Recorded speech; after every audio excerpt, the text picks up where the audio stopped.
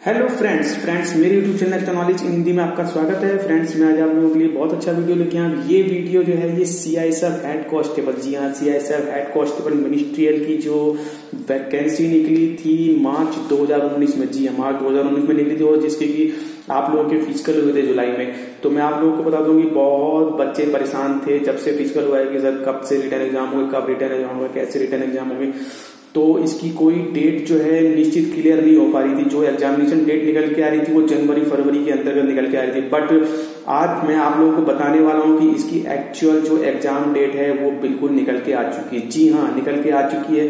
लेकिन ये मत पूछिएगा कि ये डेट सर आपको कैसे पता लगी, कहाँ से पता लगी। बस जो मैं कह रहा हूँ कि इस डेट को एग्ज़ाम होंगे, बिल्कुल क्लियर है। आपके एग्ज़ाम इन्हीं डेट में होने।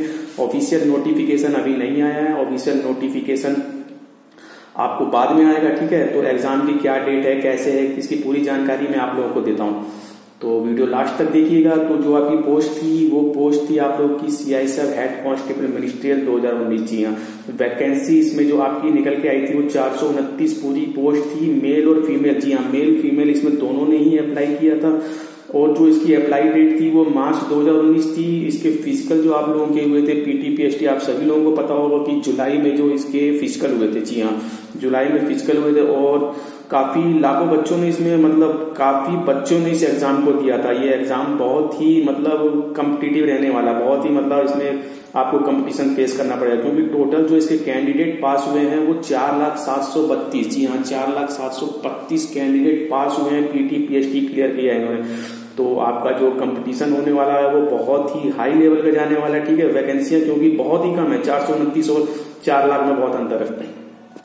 तो प्रिपरेशन करते रहिए, मैं आप लोगों से यही कहूँगा ठीक है? और ऑल ओवर इंडिया यानी कि ऑल ओवर इंडिया की पूरी की पूरी वैकेंसी है ऑल ओवर इंडिया में इनके सेंटर पढ़ने वाले। और जो सबसे इम्पोर्टेंट चीज़ है वो है, आप लोगों की एग्ज़ाम डेट जी हाँ एग्ज़ाम डेट जिसके के लिए आप बहुत ज़्यादा परेशान थे, क्योंकि क्योंकि जो असली प्रिपरेशन की जो तैयारी होती है रिटर्न की वो एग्ज़ाम डेट को देखते हुए उसकी स्पीड काफ़ी बढ़ जाती है। जी हाँ एग्ज़ाम डेट को देखते हुए प्रिपरेशन की स्पीड बढ़ जाती है मैं जानता हूँ, ठीक है? तो इसीलिए मैं आप लोगों के लिए एग्ज़ाम डेट निकाल के लेके आऊँ। जो सबसे पहले जो मैं आपको बता दूँ एग्ज़ाम आपके स्टार्ट होंगे वो छब्बीस चार दो हज़ार बीस। जी हाँ जो फ़र्स्ट फ़ेज़ जो होगा वो एग्ज़ाम का आप लोग का छब्बीस चार, यानी कि छब्बीस अप्रैल में, ठीक है? 26 अप्रैल 2020 में आप लोगों का फ़र्स्ट एग्ज़ाम होगा और जो सेकंड फ़ेज़ होगा वो तीन पाँच 2020 में। ठीक है? यानी कि तीन मई 2020 में थर्ड फ़ेज़ होगा 10 मई 2020 में और फोर्थ फ़ेज़ होगा आपका 17 मई 2020 को। तो बहुत से लोग अभी कंफ्यूज हो रहे होंगे, सर, ये फ़ेज़ क्या है? फ़र्स्ट फ़ेज़ सेकंड फ़ेज़ ऐसा तो नहीं है कि कहीं मेरा जीके फ़र्स्ट फ़ेज़ में हो और रीजनिंग सेकंड फ़ेज़ में ऐसा नहीं है। मैं आप लोग को बता दूँ फ़ेज़ का मतलब ये है कि बच्चे जो मैंने आप लोग को बताया, बहुत ज़्यादा कैंडिडेट है, ठीक है? चार लाख बच्चे हैं तो इनका एक डेट में एग्ज़ाम नहीं हो सकता। तो कुछ मतलब कुछ सीटें, कुछ बच्चे जो हैं फ़र्स्ट फ़ेज़ में उनका एग्ज़ाम होगा, ठीक है? और कुछ लोगों का एग्ज़ाम जो होगा सेकंड फ़ेज़ में होगा, कुछ लोगों का एग्ज़ाम होगा थर्ड फ़ेज़ में होगा, और कुछ लोगों का एग्ज़ाम जो होगा, वो फोर्थ फ़ेज़ में, यानी कि सत्रह पाँच दो हज़ार बीस को होगा।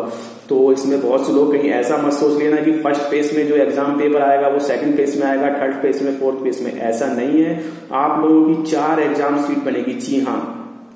Exam seat A B C D इसी प्रकार से आप लोगों के अलग अलग एग्ज़ाम होंगे, लेकिन पैटर्न वही होगा, लेकिन क्वेश्चन सभी अलग होंगे, लेकिन चार फेस में आप लोगों के एग्ज़ाम होने वाले हैं। अब किसकी किस्मत देर से जाती है, किसकी किस्मत पहले जाती है, ये आपको अपने हिसाब से पता चलेगी। आठ जोन से पूरे आप लोगों के। जी हाँ आठ जोन में आप लोगों ने अप्लाई किया। यहाँ पे आपको फ़िज़िकल हुए थे। इन्हीं जोन्स के लिए आप लोगों के एग्जामिनेशन सेंटर बांधे जाएँगे। जो सबसे, और जो एग्जामिनेशन सेंटर जो होंगे, वो 177 एग्जामिनेशन सेंटर होंगे पूरे आप लोगों के ऑल ओवर इंडिया में, ठीक है? ऑल ओवर इंडिया में 177 आपके एग्जामिनेशन सेंटर होंगे, और जो एडमिट कार्ड जो आपका निकलेगा, वो आपको सीआईएसएफ की वेबसाइट से ही निकलेगा। जी हाँ जहाँ से आप तक, आप अभी तक कोई भी एग्जामिनेशन के एडमिट कार्ड निकालते आए हैं डब्ल्यू से, ठीक है? इसी वेबसाइट से ही आप लोग के एग्जामिनेशन कार्ड जो निकलेंगे एडमिट कार्ड ठीक है? और और जो आपके जो एग्ज़ाम होंगे, वो मैं आप लोग को बता दूँ, अभी तक तो आप लोग को जानकारी हो चुकी होगी कि ऑफलाइन ही एग्ज़ाम होंगे, ठीक है? ऑफलाइन एग्ज़ाम होने हैं, यानी कि पेन, पेंसिल और ओ एम आर सीट पे आप लोगों को जो ब्लैक और ब्लू सर्कल्स करने होते हैं, ठीक है, उस तरीके से आप लोग के एग्ज़ाम होंगे। कोई ऑनलाइन एग्ज़ाम नहीं होगा ऑफलाइन एग्ज़ाम है, बहुत अच्छी बात है।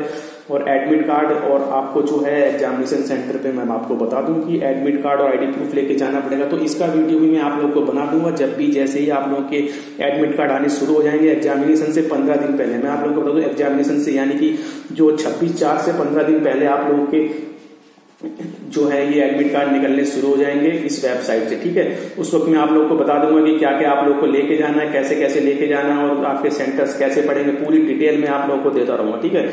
और इसके अलावा अभी मैं आप लोगों को जो रिटर्न एग्ज़ाम्स के बारे में भी कुछ बताने वाला हूँ, ठीक है? क्या क्या सब्जेक्ट किसमें से कौन सी चीज़ें इंपॉर्टेंट है, इसके ऊपर भी मेरा एक वीडियो आने वाला है, क्योंकि एग्जामिनेशन डेट की पूरी जानकारी मुझे हो चुकी है तो उसके बारे में भी मैं आप लोग को बताऊँगा। तो वीडियोज़ आप लोग देखते रहिए मेरे, ठीक है? और इसके बारे में बता दूँ कि जैसे ही आपका जो लास्ट फेस होगा, यानी कि सत्रह पाँच का जो लास्ट एग्ज़ाम होगा, उसके दो महीने के बाद ही आप लोगों के सत्रह पाँच का जो ये लास्ट एग्ज़ाम होगा, उसके दो महीने बाद ही आप लोगों के टाइपिंग टेस्ट होंगे। जी हाँ इसमें टाइपिंग टेस्ट भी है तो उसके दो महीने के बाद ही आप लोग के टाइपिंग टेस्ट होंगे। उसके बाद का जो आगे का प्रोसेस मेडिकल वगैरह का होगा, ठीक है?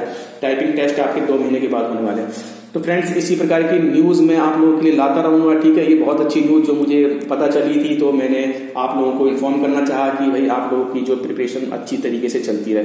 तो मेरा जो नेक्स्ट वीडियो है, वो आप लोगों के सिलेबस से रिलेटेड है कौन कौन सी इंपॉर्टेंट चीज़ें आप लोगों को पढ़नी चाहिए और क्या है सिलेबस में आपके तो उसकी जानकारी भी मैं आप लोगों को दूँगा, उसका वीडियो भी जल्दी आने वाला है बट उससे पहले मैं आप लोगों से यही कहूँगा चैनल बने तो चैनल को सब्सक्राइब ज़रूर कर लीजिए और वीडियो को लाइक ज़रूर कीजिएगा शेयर भी कीजिएगा और नोटिफिकेशन के बटन को ज़रूर दबाइएगा, क्योंकि डेली आप लोगों को कुछ ना कुछ अपडेट आप लोगों को मिलने वाला है। तो यदि आप लोग नोटिफिकेशन का बटन नहीं दबाएँगे तो आप लोगों को अपडेट नहीं मिल पाएगा।